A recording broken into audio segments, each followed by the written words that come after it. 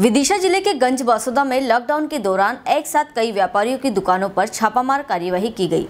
एक दुकान पर कई ग्राहकों को बिना सोशल डिस्टेंसिंग के व्यापार कर रहे थे।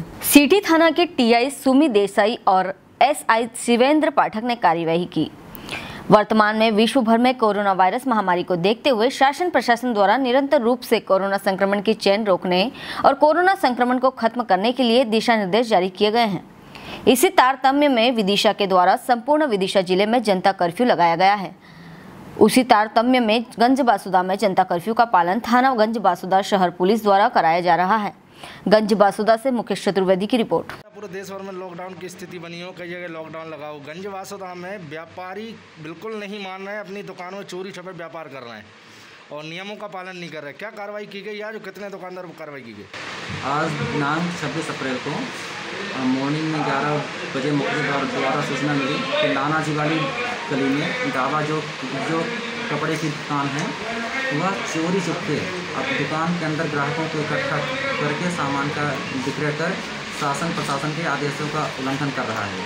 मुखबिर सूचना पर मैं थाना प्रभारी महोदय जी के साथ में, टीम के साथ वहाँ पर गए।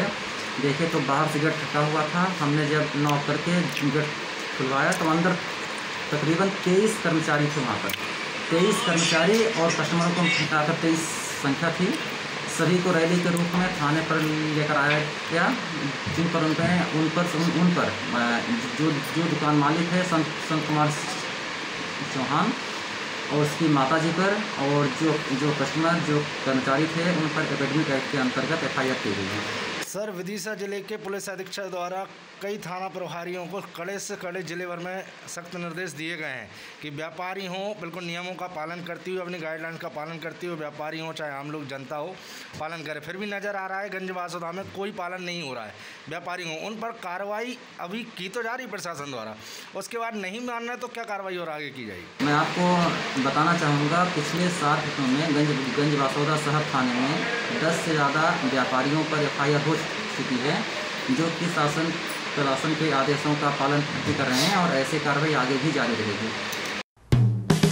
हेलो फ्रेंड्स आप देख रहे हैं हमारा channel S W twenty four news हमारे सारे वीडियो सबसे पहले देखने के लिए आप हमारे चैनल को सब्सक्राइब करें और पास में लगे बेल आइकन को दबाना बिल्कुल भी ना भूलें।